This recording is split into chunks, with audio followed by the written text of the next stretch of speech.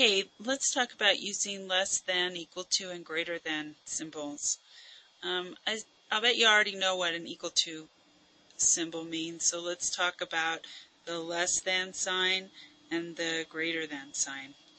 The way I always remember is I think about that open end as a mouth, and the little guy wants to eat the bigger number, so you're always going to point the mouth towards the bigger number.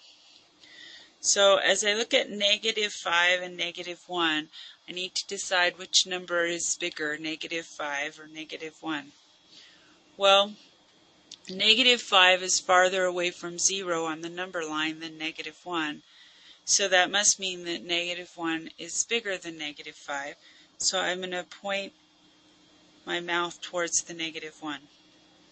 I look at negative 6 and positive 6. Well, a positive number is always going to be bigger than a negative number.